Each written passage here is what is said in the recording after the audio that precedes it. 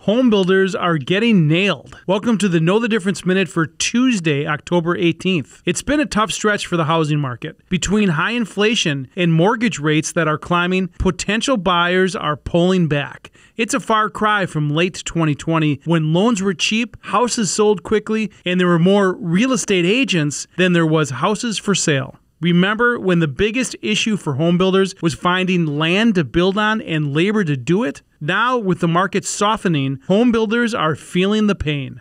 Confidence is at the lowest level since the beginning of the pandemic. The National Association of Home Builders Market Index has fallen for 10 consecutive months. Their chief economist said this will be the first year since 2011 to see a decline for single family housing starts and this malaise is expected to continue into 2023. I'm Dave Spano from Annex Wealth Management, and that's your Know the Difference Minute.